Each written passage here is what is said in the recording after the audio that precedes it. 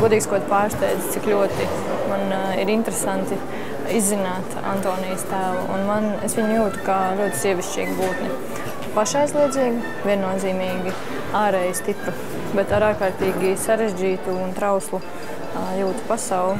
Un man šķiet tā viņas izsapņotā realitāte, viņas sapņi un vēlmes uh, tik ļoti nesakrīt ar uh, racionālo prātu. Brīnišķīgi partneri un mūzika un, un tas stāsts, jo, protams, no bērnības es arī esmu dzīvojusies pa Nacionālo teātru un visai bieži regulāri skrodeļdienas ir skatītas. Uh, mainoties vecumam, tu bez šaubām uh, redzi jau pilnīgi citu līniju un stīgu šajā darbā. Tas humors aiziet otrā plānā un tam visam tomēr uh, to caurvīja sievietes sarežģītā jūtu pasauli.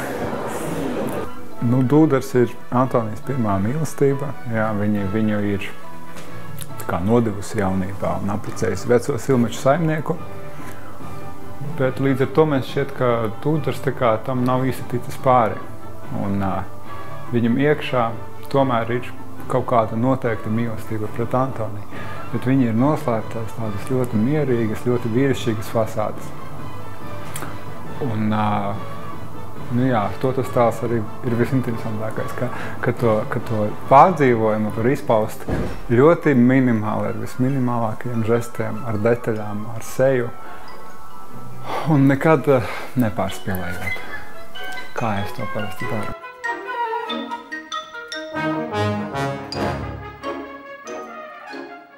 Nevers vienmēr saka, nē, stop, nomierinies, nomierinies, tu esi mierīgs, vīrišķīgs un, un nosverts, jā.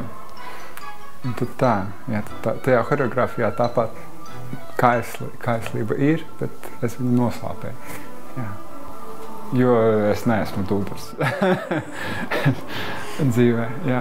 Bet līdz ar to ir divreiz interesantāk to visu dejot.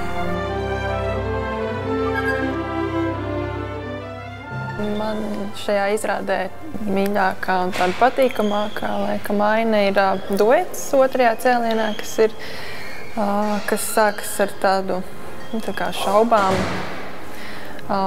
Bet beig beigās Aleks un Elīna saprot, ka viņi mīl viens otru un ka laikam būs kopā beigās. nu, priekš maniem laikam tas ir cilvēks, kas nevar pateikt nē, kas vairāk domā par citiem, un tas ir viņa kļūda. Tomēr vajag domāt par sevīm lai citiem pārējiem arī būtu labi. Pirmā mana saskarsme ar silmečiem bija laikam, kad man bija 3-4 gadi. Mēs ar vecmāmiņu, vectēvu, mammu un teiti devāmies, es domāju, ka uz Valmieru skatījāmies. Es atceros tikai lielus ugunskurus, riteņus, zirgus, un laikam es tur raudāju. Tā bija pirmā saskarsme. Ir patīkami, interesanti un nedaudz satraukums, jo es domāju, ka Aktieriem arī ir liela interese, kāds varētu izskatīties baletā. Un es domāju, ka mēs tiksim stingri vērtēti. es domāju, ka visi gribēs noskatīties. Es domāju, pirmā, uh, pirmās vecmāmiņas vec tev atnāks. Nu, viņi pateiks, ka ir ļoti interesanti, ļoti krāsaini, un tad ies visi.